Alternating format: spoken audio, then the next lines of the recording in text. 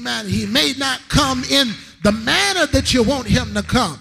But when he does come, when he does show up, amen, it's exactly what we need and it's always right on time. Okay, why don't you clap your hands and tell God thank you this afternoon? Oh yes, oh yes. Amen. That that is the dilemma. Thank God that, that we find ourselves in from time to time. Amen. And I believe that that most of us, as a matter of fact, I, I would go out on a limb and say all of us, thank God, would be better off. Amen. If we heeded wise counsel. Thank God, even when it was uncomfortable for us. Amen. I come to let you know that sometimes salvation becomes a little bit uncomfortable. Can I get a witness in this house? Amen. Sometimes being saved, thank God. Do I have anybody that's been, thank God, in places of discomfort? Amen. Sometimes being saved causes you discomfort. Amen. Sometimes truth hurts. Can I get a witness in here? Amen. But Amen. But every now and then you've got to be told the truth, even when it does not jive with what you want to hear. Amen. Because God is not concerned with what we want to hear. Amen. God is not concerned, thank God, with the feelings of our flesh. He's not concerned with our emotions. Amen. God wants us to be saved. And if being saved costs us, thank God, a level of comfort, then you ought to have a mind that says, so be it. Amen. Of being saved, can I get a witness in this church today? Thank God of being saved. Thank God costs us, amen, tears. Thank God if it costs us pain, amen, you ought to say, so be it. Whatever price I've got to pay for God to save my life, amen, you ought to throw up your hands and say, I'll take it all, Jesus. Can I get a witness in here? You ought to clap your hands and tell God, thank you. Tell him thank you another time. Discomfort. Sometimes salvation causes us discomfort. Amen. It causes, thank God, a level of discomfort that, that makes us uneasy. Amen. That causes us at times, Brother Swim, amen, to want to throw in the towel. Amen. To say away with this life. Amen. It causes us, thank God, Brother Jeff, amen, sometimes to want to turn our back on God because they did not tell me that, that salvation involved all of this. They did not tell me, Brother Sean, that, that being saved was, was going to cost me, thank God, some of the stuff that I've been used to. They did not tell me that some people, amen, that, that I used to run with, that I couldn't run with them no more. They did not tell me that, that some relationships I had to cut off and move on. Thank God they did not tell me that, that I would have to fast and, and put my body on a fast. Thank God to bring my emotions under God's control. They did not tell me, thank God, that sometimes I'd fall down and scrape my knees. Thank God when I'm trying to run for Jesus. Oh yeah, I heard the songs on Sunday morning that I'm running for Jesus a long time. Amen. I'm not tired yet. Amen. They did not tell me that sometimes you would get tired, that sometimes you would want to throw in the towel. They did not me that sometimes that truth would hurt. Amen. But what they did tell me, amen, is that God would always be there in the good times and in the bad times. Can I get a witness in this church today? You ought to clap your hands and tell God, thank you. Tell him, tell him, thank you another time. Amen. How many know that God has been there? And all the time. You you ought to you, you ought to shake a neighbor's hand and say, neighbor, amen. God has been there all the time. Amen. He wasn't there just, just when everything was clicking and I was on the mountaintop and I had all the money I wanted and things were going well. He was not just there, but I come to let you know, even in the valley, amen, even when you got to your lowest point, amen, almost level to the ground, I want you to know that God is there too. Can I get a witness in this church today? David said, if I make my bed in hell, God is there. if I take the wings of the morning and fly to the uttermost parts of the earth, God is there. I want you to know, amen, even though you might have sunk to the bottom of the sea, even though you may have made shipwreck, I come to tell you that God is there with you. And if you would just heed his instruction, if you would just listen to wise counsel, he will bring you back to life.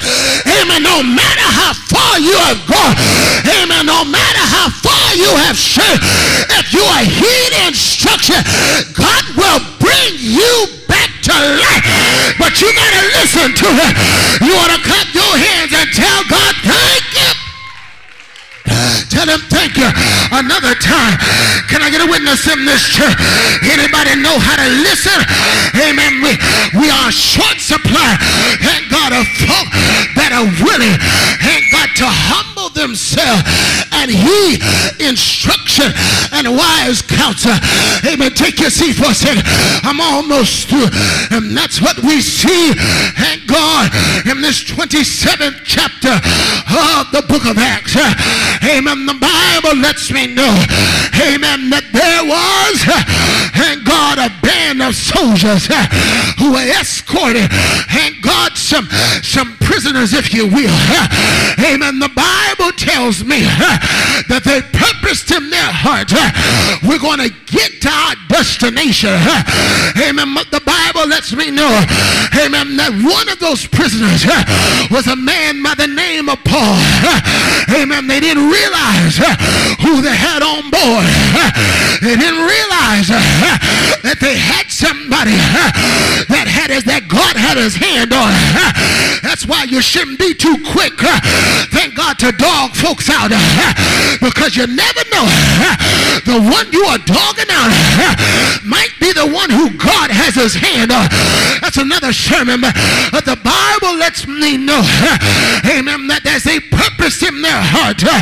Amen, that Paul rose up and God in the verse number 12 or in verse number and God did.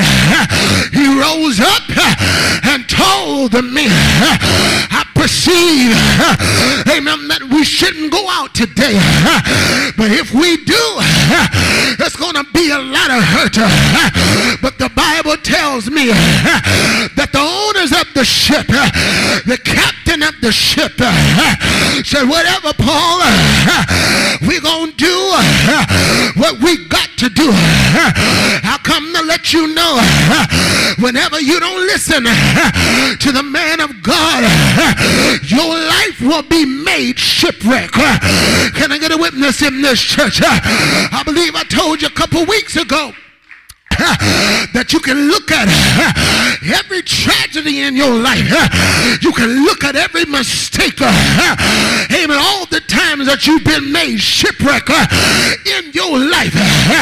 And you can trace it to an instruction that you receive that you ignore. You can trace all of your trouble to ignoring wisdom and wise counsel. That's why the Bible Bible writer said in the book of Proverbs that in the multitude of counselors there is safety. Amen. God is not a God of coincidence. Whenever he speaks to you, there's a reason why God is saying what he's saying.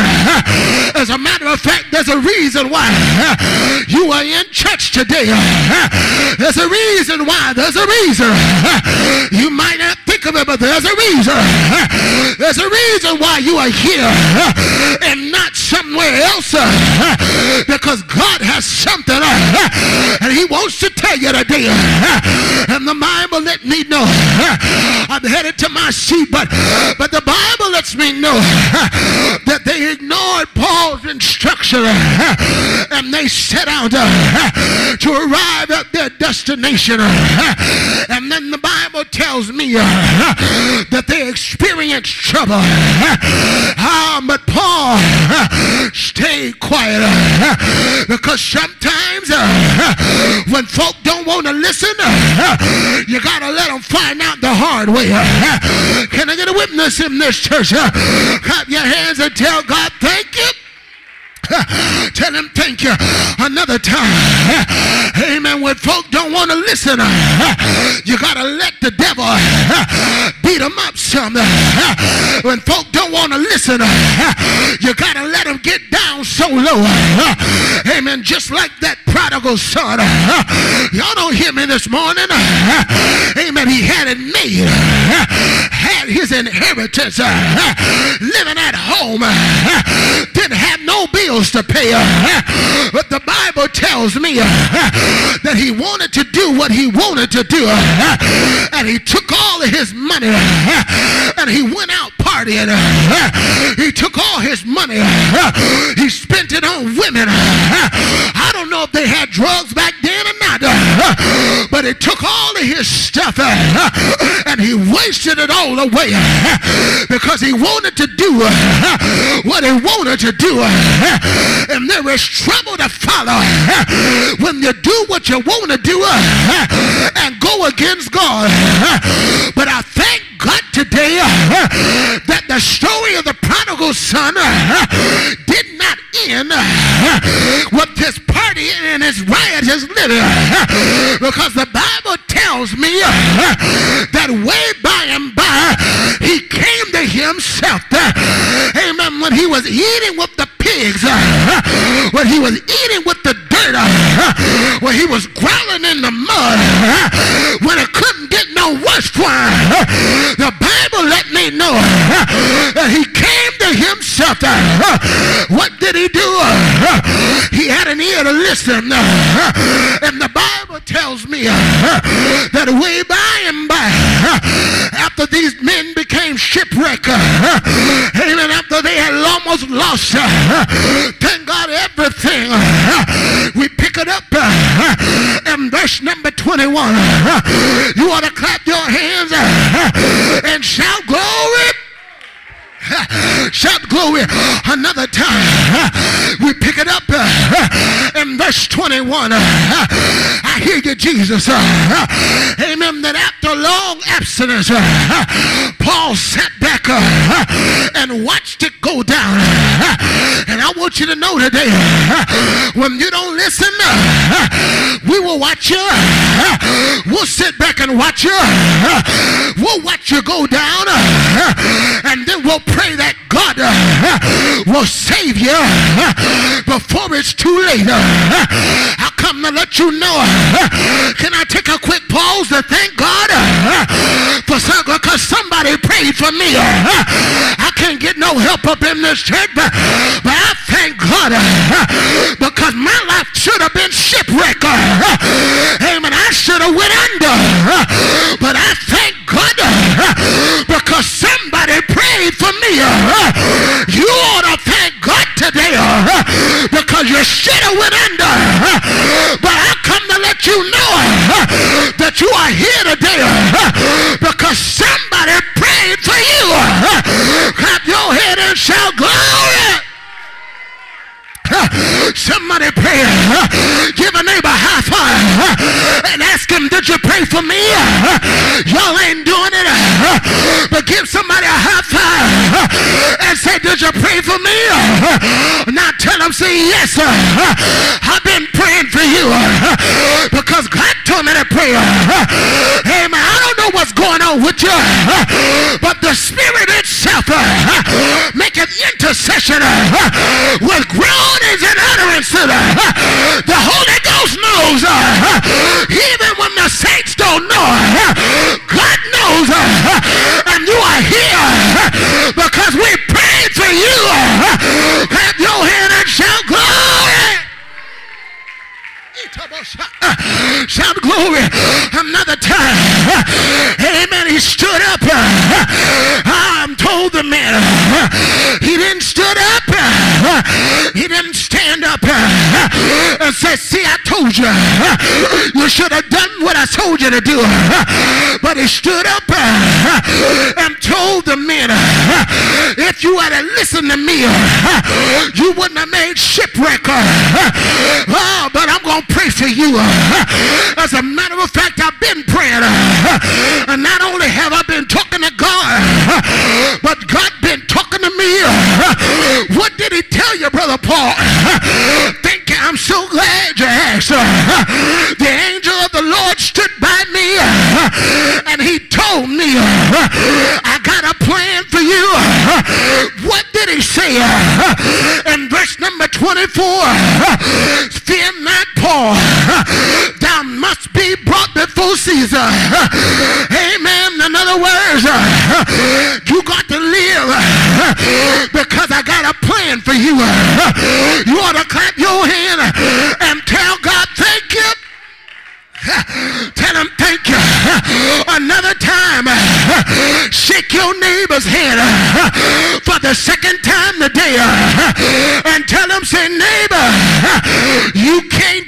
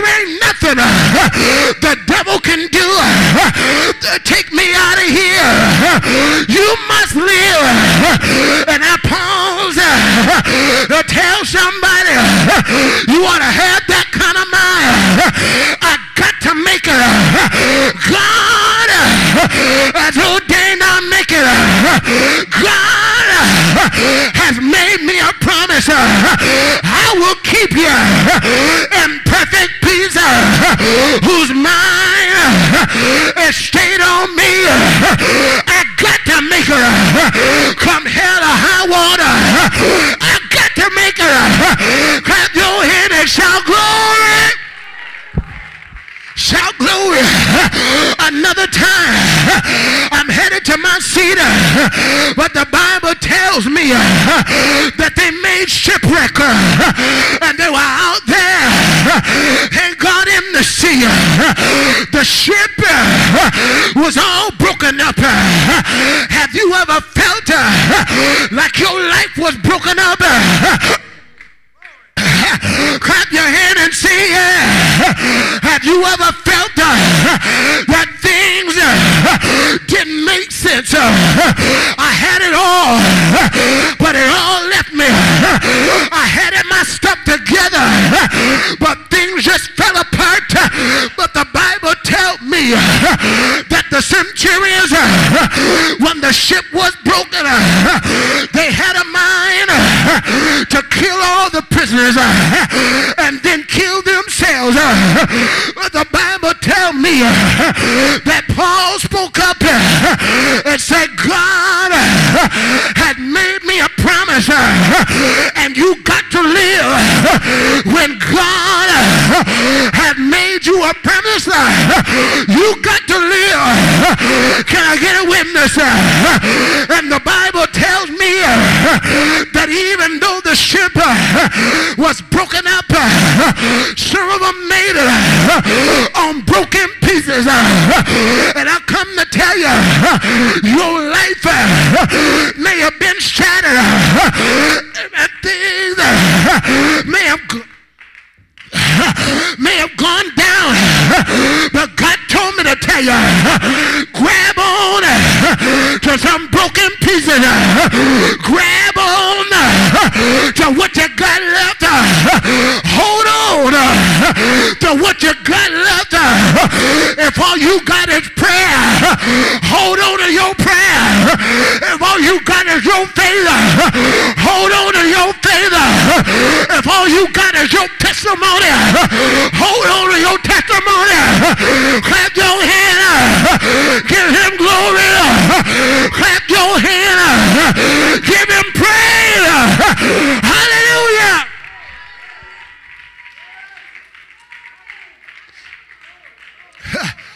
Shout hallelujah, somebody.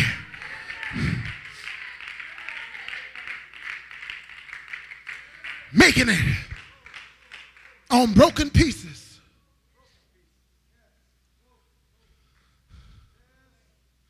If God has made you a promise, you can't go anywhere until the promise has come to pass. Because God is not a liar. And his word will not return unto him void. In other words, if he sends his word for a specific purpose, his word will achieve that purpose. And if God says something is going to happen, then you can rest assured that it will happen. Regardless of how you get there, regardless of what happens on the way, regardless of even on the way, it looks like it's not going to happen. For the fact that God said you got to get there means that you will get there.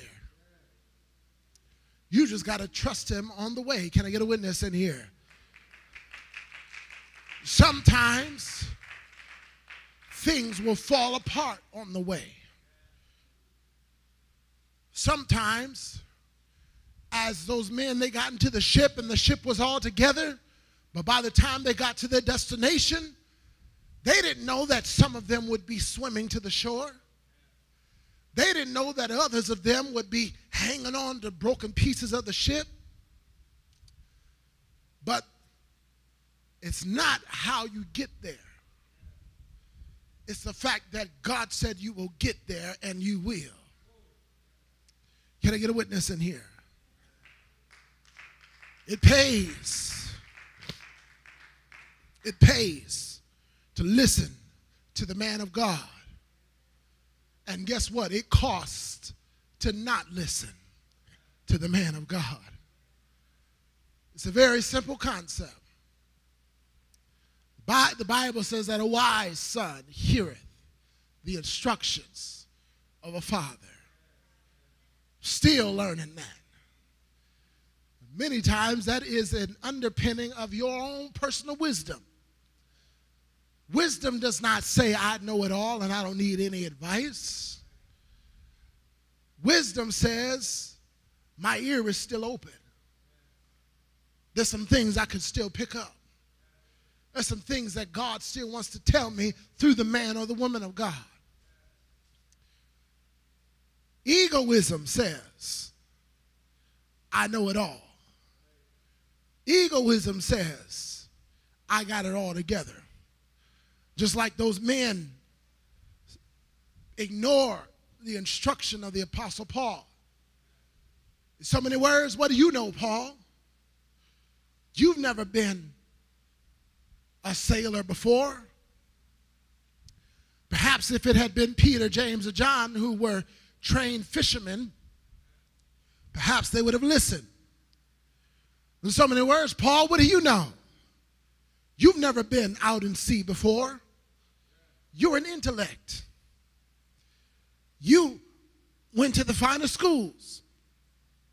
You made tents. You don't know anything about sailing. Sometimes you may say, well, the man of God, the pastor doesn't know anything about my line of work. Or the pastor doesn't know anything about these streets. Or the pastor doesn't know anything about the fact that it's hard out here for a pimp. He don't know anything about this, this easy money. God knows, even if the man of God has not had personal experience with it, God knows. And he uses the man of God as the conduit by which he tries to save your life. But it's up to us to listen. When we listen, it pays. When we don't, it costs. And then God has to come in, just like He did for these men, and save their lives just in the nick of time because of His commitment to Paul. God told me to tell you today you got to have a mind that I've got to make it no matter what it may cost me. Heaven is cheap at any price. Being saved is the best life. It might not be the easiest life. It will be a life full of challenges, a life full of sacrifice, a life that requires you are given the prayer, a life that requires you be given the fasting, a life that requires you to be somebody that you weren't that you've never been before. You can't a life that they require you to look differently. A life that requires you to speak differently. A life that requires you to act differently. But I come to tell you whatever the price you have got to pay to have this life and to have the next life, that price will be cheap compared to what God has in store for you. Do I have any witnesses in here?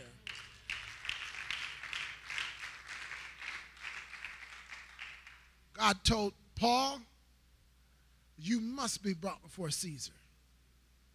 In other words, I've got a plan for you. And there is no greater consolation for a child of God than to know that God has a plan for your life. Because He does. He has a plan for each and every one of us in this room today. You might not believe it. You may have looked at your own life and said, I'm nothing. You may, you may know your, your family history. You may say, I lack pedigree. I lack skills. I can barely read. I can't have talk. I got halitosis, whatever your issue is. You may look at yourself and say, I, I am nothing. But God doesn't see who we are per se. He sees who we can become in Him. And He sees what we are and then gives us what we need so that we can go beyond what we are and get to where He wants us to be. Because God has a plan for us. It is God that, Paul said it like this it is God that worketh in you both to will and to do of His good pleasure. God works on us so that we can know His will and works on our will until His will becomes our will, until His desires become our desires, until His plan becomes our plan. And then He works with us, works in, He both works, works both to will and to do. Then He works with us the ability to do his will. He works with us the ability to carry out his plan. But God has a plan for your life. He has a destination for your life.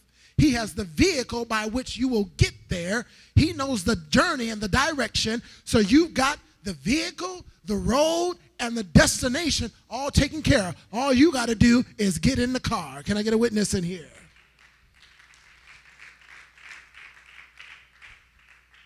And don't get in the driver's seat. Get in the passenger seat. Sometimes when me and my wife leave the house, I will run to the passenger seat because I don't want to have to drive. I'll, I could be gone all week, driving all across the state of Michigan, Sault Ste. Marie, Traverse City. You know that song that says, I've been everywhere, man? I've been everywhere, man. East Coast, United, uh, the state of Michigan, Western Michigan, from Lake Michigan to Lake Huron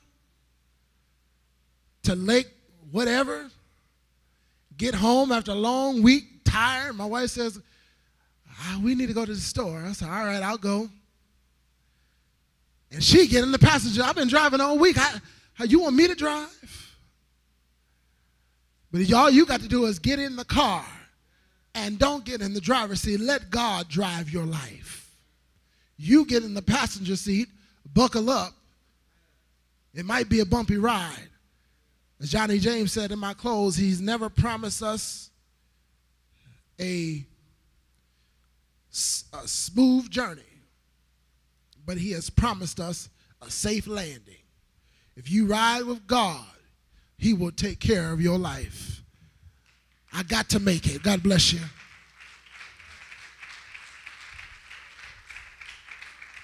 You say amen.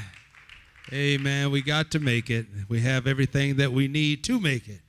All we have to do is have our minds made up to be determined uh, that we're going to make it. God is on our side. He's for us. If God be for us, He's more than what? The whole world against us. He is for us. So if there's anybody wants to be saved, amen, I've got to be